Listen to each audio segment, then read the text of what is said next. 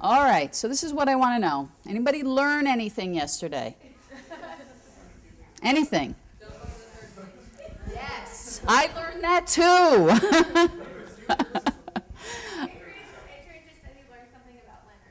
Oh, what'd you learn about Leonard?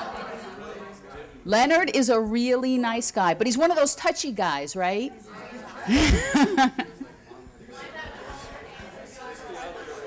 okay. What else did you? What else did you learn about Leonard? Oh no, no, he was telling us about Albuquerque, New Mexico. Learned a few things about accounting. Uh, his you know, all his degrees and such, his Series Sevens and such.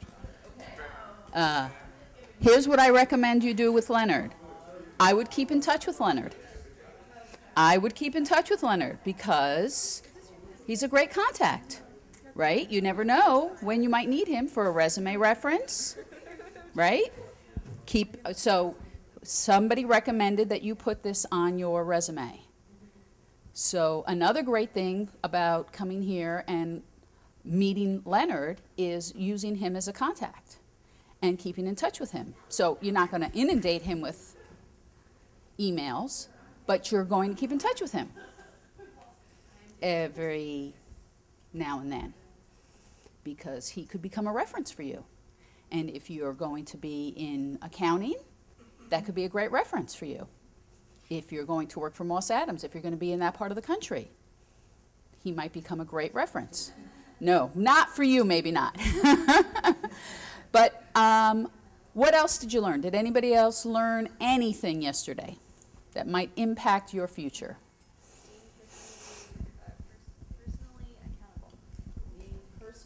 Oh, I'm glad I didn't have the mic when I was totally messing up the words. Being personally accountable. And so, um, owning your own actions, owning everything that you do, um, not placing blame on others. So you own both your successes and your failures, and um, you don't, you know, throw it on anyone else when it looks bad for you. Right. How do you think that might have changed Tony Weiner? Actions. No, seriously, seriously. Okay, he did something stupid. We all do stupid things, but maybe had he on day two said, "Yeah, I did that," might have ended that whole thing instead of dragging it out for three weeks.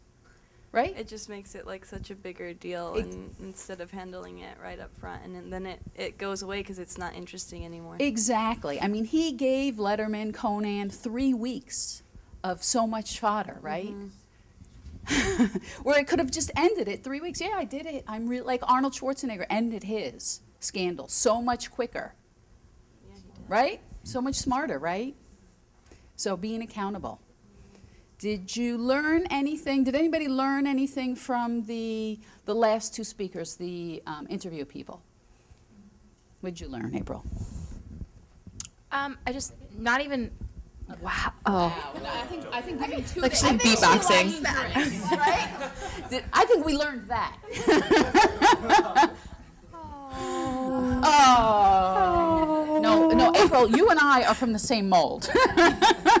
That's totally valid. um, I didn't even learn anything new so much. I just like refresh all those tips, like get in my head like as we move into more like interview season, and I'm moving in my last year of college, so have a lot more interviews and that type of thing coming up. It was mm-hmm. nice to kind of say like, oh right, like this is how you do this, and this is what you should do, and thank you notes, and don't, you know, say the wrong company or spell someone's name wrong, that type of thing.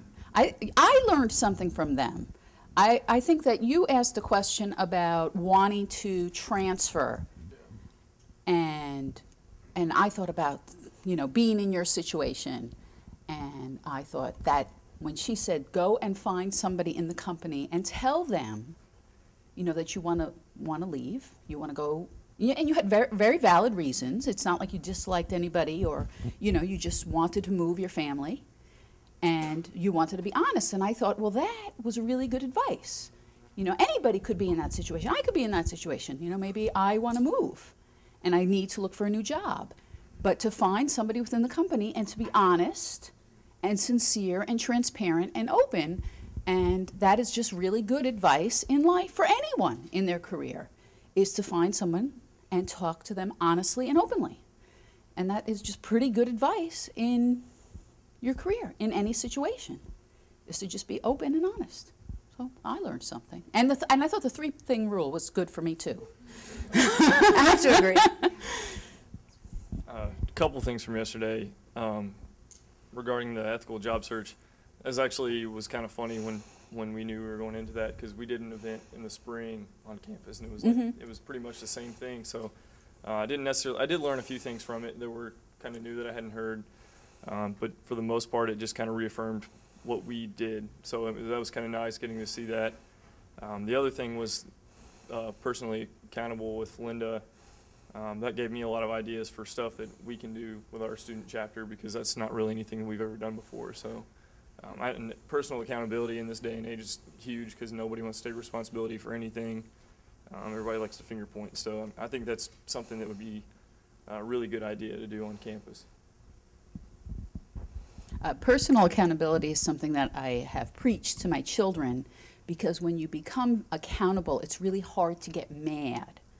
So my children have learned to say, "I'm sorry, mom," and it just stops you. You know, you know, why did you do that? Well, I'm really sorry, mom. So you're just like, okay, there you go. Mm. Just it just ends. So when you take ownership for something, it really kind of ends the conversation in a lot of ways. So I'll remember that next time I mess up at work. I'm sorry, Lisa. you do that all the time. you oh. already know that trick. I think we're ready to get started unless anyone's got any more comments about yesterday